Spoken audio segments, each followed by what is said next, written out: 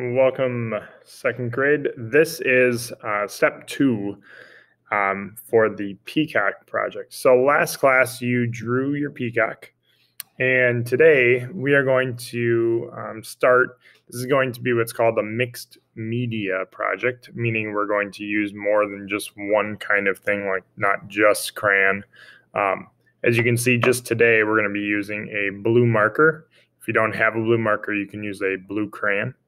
We're using a pen and we're using a permanent marker. Okay, so that's just today. What I'm going to start with is the pen, and we're basically going to go over all of our um, pencil lines. And you want to stay close to your pencil lines with the pen, but you can see if I can zoom in here.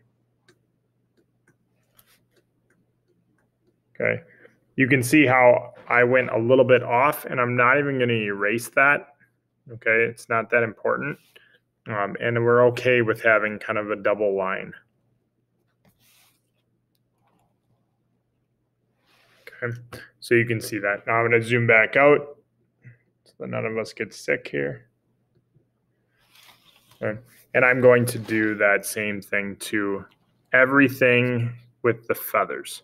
Okay, I'm not doing that to the body, just the feathers.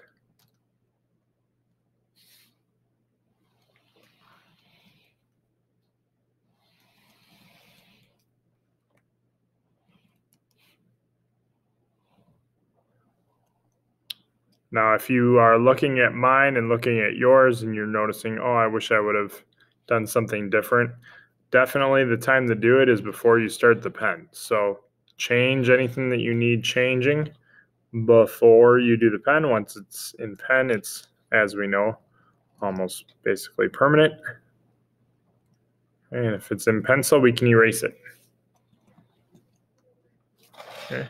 And I do like to, as you guys know, I say it a thousand times, I'm turning my paper time. Now I am going to do these, um, but I'll save the outlining of the um, circles for the permanent marker.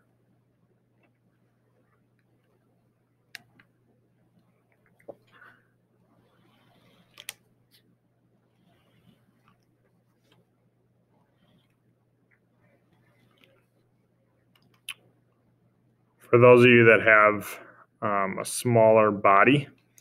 Um, we're going to come back up to this one because this is the only one out of all of mine that I have the top showing. Um, so I'm going to talk about what we're going to do at the tops. Some of yours, your maybe all of yours, you can see the top part. So we'll come right back to that.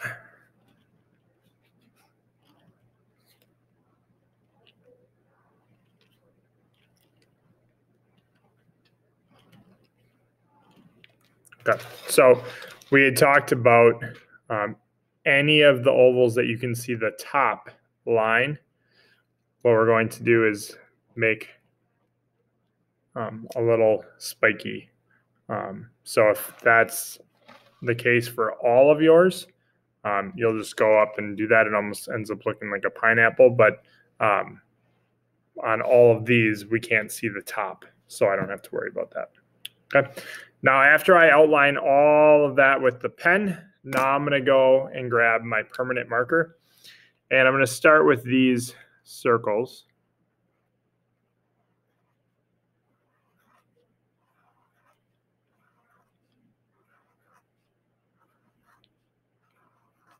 And then I'm going to outline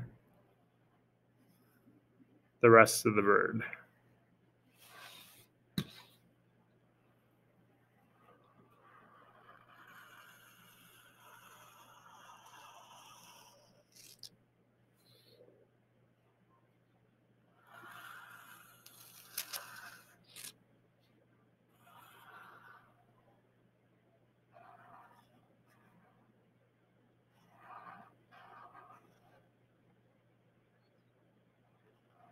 We can color in the center circle. Okay. Then the last thing are the clouds. Um, I'm just going to do the hills here, not the outline. Okay.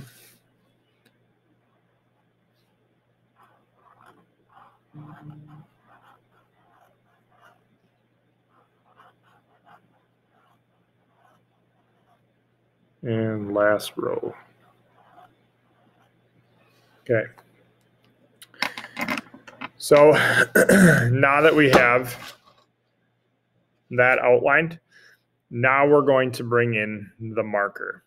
And the marker is going to be just for the body. This and this part is going to be black. We'll color that in a little bit. And then these little um, half moons are going to stay white and the beak will be a different color as well. So right now we're just worried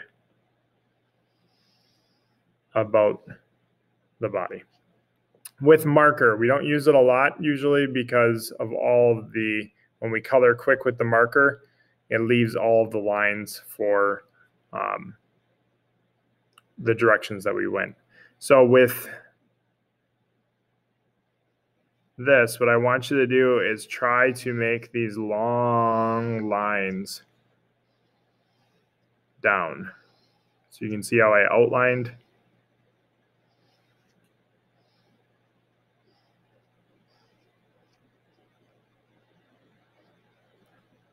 Okay.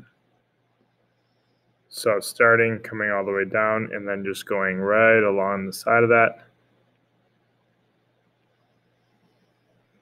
And making sure that you don't run your hand through it. I'm left-handed, so I started on the right side, and then I work my way this way, that way. This part of my hand never gets into the blue.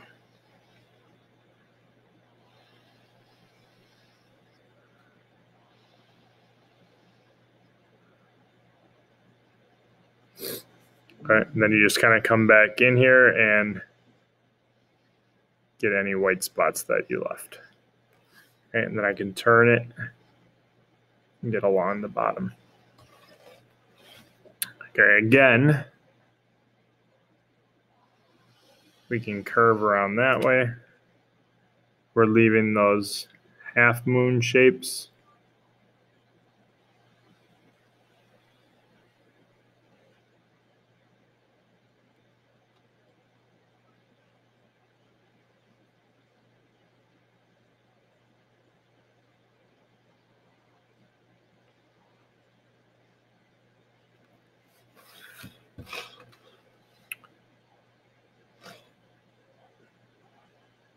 And all the feathers on the head are really, really, really small. Um, and so I'm going to use these lines that are being made by the marker that kind of show the direction of those hairs.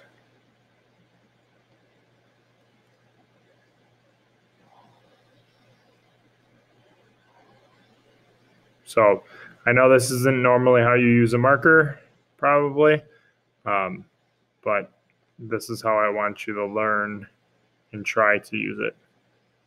You use less marker ink, I guess, um, inside. So it's a it's a good um, thing to get used to. All right, I'm gonna leave that. So right now we're not coloring the inside portion of the eye. I am gonna go back and grab my black marker. You could also use a black washable marker and I'm going to now color in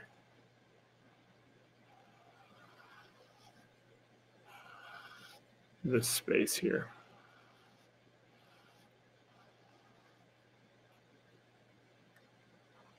So we are not coloring in the beak today.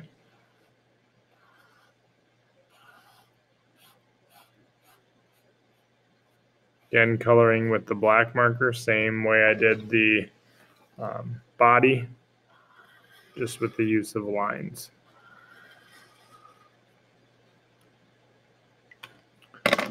I'm going to grab a, sorry, bigger marker to save time here.